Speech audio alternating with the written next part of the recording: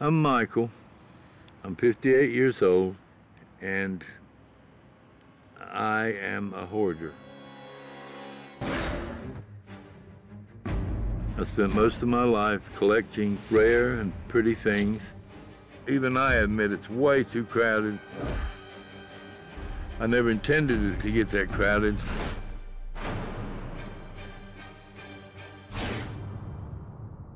I'm Christine. I'm Michael's oldest sister. When I walked into Michael's house, I was absolutely shocked.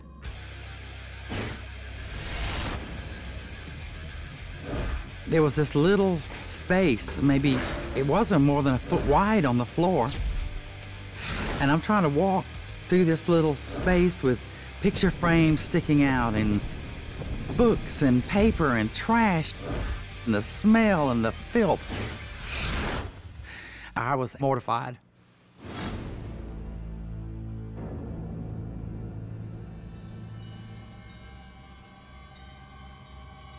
We had a pet rabbit.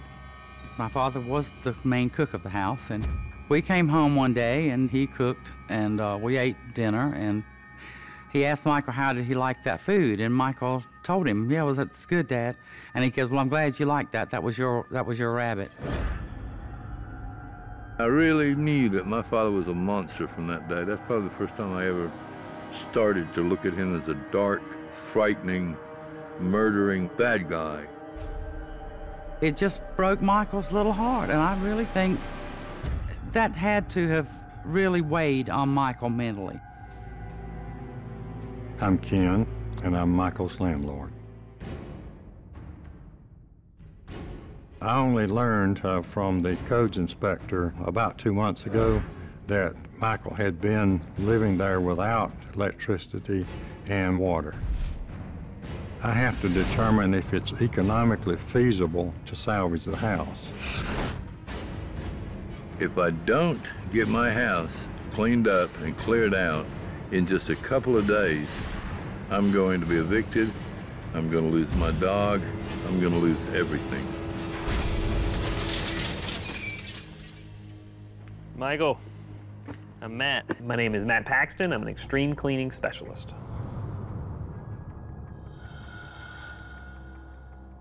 Now we're gonna try to get in his bedroom where he lives. It's really hot, there's lots of bugs, and there's no light. So we're going with candle. Hopefully the house will not burn down. Here, let me get the food. You carry the candle. Just hold on where I'm holding Hold on. Hold on to the walls. See, everything's really piled up on both sides close. But if you hold what I hold, you can get through. Michael knows every inch of that house. He doesn't need lights. He doesn't even really need the candles because he knows it so well. Your house, man, the minute something catches on fire, It's gone. it's gone, man. Walk right over that box Yeah. down there. Okay. Michael's bedroom is the main room. It's really the only room you can walk around in. I'm gonna go this way, and you can put a foot on here and sort of lean on me and go up that hole right there. So. I'm gonna go over you. Hand me the chicken. You hold on to the dinner. All right, here we go. You ready? Graceful and gracious. All right. So this is home. Yep. And we're not even in here five minutes, and I'm sweating my balls off. It's, Oh. I mean, it's 100 degrees easily. So without the power, it's unlivable. Do you ever eat in this room, in your bedroom? Yes, but I'm very careful with the crumbs and stuff. Okay. I have fought rats and I have fought mice. And I put so much poison in this house, I had two inch welts, big red gobs Gobs come up you. everywhere on me. Michael wants to change so badly. Even if we successfully clean, it's not his home. He's not guaranteed that he'll ever get back in. And what a loss that's going to be. What if he follows everything I ask him to do? He gives it his all, and then I have to say, sorry, brother, you're still homeless. This is a tough situation, really tough situation.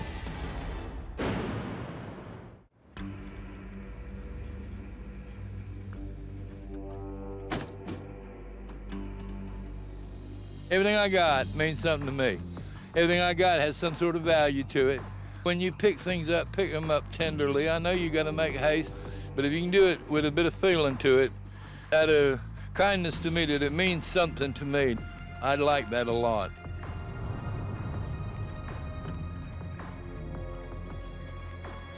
I would say this one is probably okay for the flea market pile. It doesn't have a lot of years on it, maybe 25 or 30 years. My name is Richard Hatch. I've been appraising art and antiques for over 30 years. Yes! Oh, I'm very happy that you've got that. And that stands for Southern Railroad. Very, very, very collectible, pricey, and that's probably $250 right there. Who He the is hell correct. needs It is Southern Railroad. And in today's world, realistically, maybe uh, 75 or $100.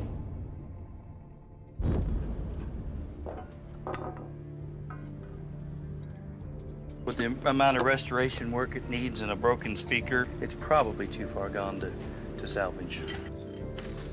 Kind of like watching my children be sorted to be sliced bologna or pressed meat. Either way, it's the destruction of something I love. I'd like, can we get moving and getting this on the truck?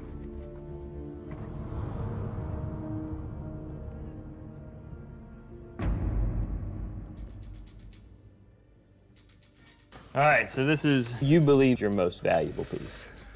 Yeah, I think it's a very good painting. Okay.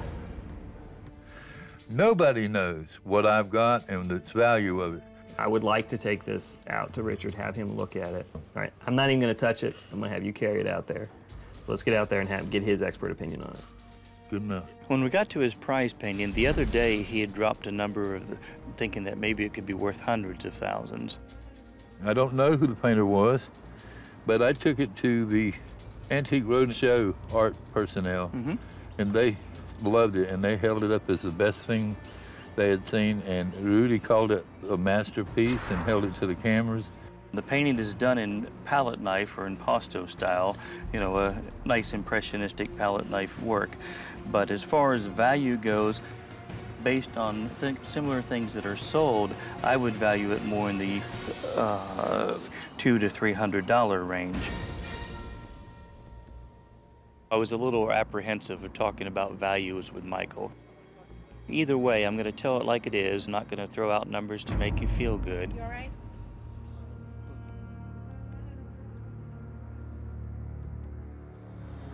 There's something spiritual here. I don't know what it is. There's something going on here with your dad. I don't know where to take it.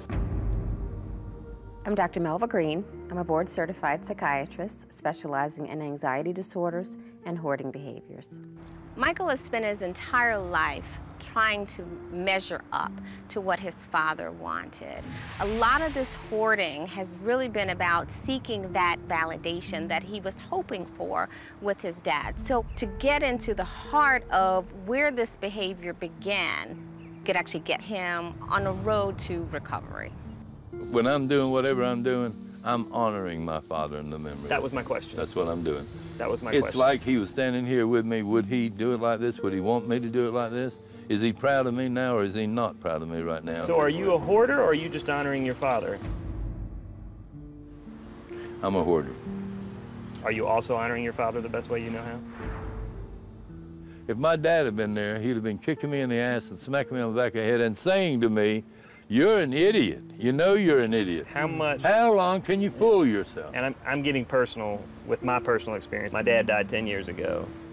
Some of my dad was good, some of my dad was bad. And I can't spend the rest of my life trying to make my dad happy. Our hunch with Michael was that it wasn't about the cash. Michael wants to be like his father. What boy doesn't want to be like their father? You're really close to saying, man, life ain't worth it. Get rid of this stuff.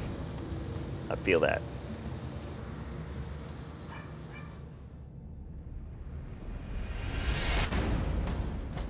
Aldo's gone, okay?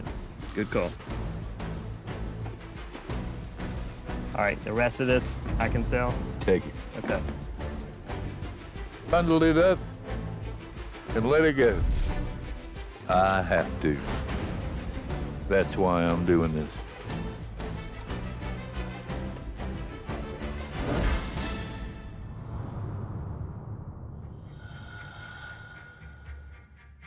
Michael was ready to start his life back over in this home, but we still had an enormous amount of work to do today. We still had to clean three entire rooms and get the house ready for an inspector.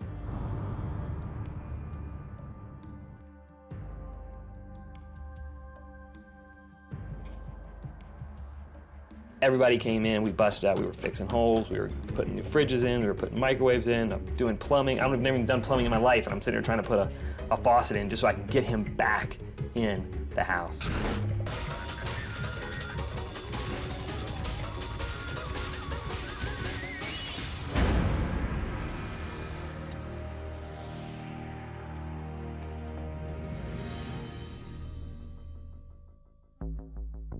Uh, with the list that we have today, we're dealing with the habitability of the structure. Uh, if we can get primarily the repair of the ceiling fixed in a, in a week or two, then I don't have a problem with the conditional occupancy. But it, it's, it's an agreement that you really need to make. And if that's what you want to do, uh, you know, we can accommodate it. I couldn't evaluate it at all, you know, until I saw it uh, cleared out. So I think it can be done. The whole thing has got to be Yep. reshingled, you know, in, in my opinion, as soon as possible. County came in, they gave me the plaque, told me to rip it up. All right. You are not homeless, my friend. All right. Awesome. awesome. It all paid off. It all paid off, man. I think that Michael and the homeowner are gonna be able to fix this roof issue and actually keep Michael in here long term. I want you to see your new house, because finally, again, this is your house. I say something about her. Come on, too. let's We'll get Let's to it. We want to show you your house. Let's do it. Get on in. Wow. That is just Oh. nice. Wow. But look at this, Michael. Isn't that beautiful? The couch and the. I know. The rug, isn't I'm gorgeous? just, I can't. Uh, Can't take it all in, no, can you? I can't too much. express it. How do you all know to pick it out like this and Wow. do all this? I mean, you're like angels. Oh, we got a new refrigerator, got a brand new microwave, and guess what? The AC works. You're kidding. We couldn't believe it either. Get out of here. Let's We all take our clothes off. Turn the AC on. Wow. Come on this way. Wow. Wow. Little stuff for Basil. Look at Basil. Basil stuff. Oh,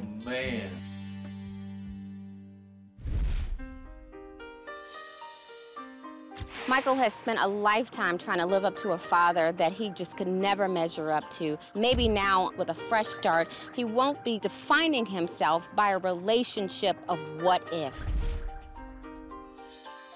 I think Michael working so hard to detach himself from these things that were his treasures may make him realize I'm not a failure after all. I, I can stand on my own two feet. It's like a huge weight is lifted off my chest and I can breathe.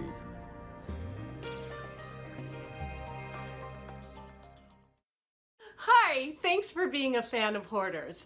And subscribe to A&E for more videos and click the links around me to watch more.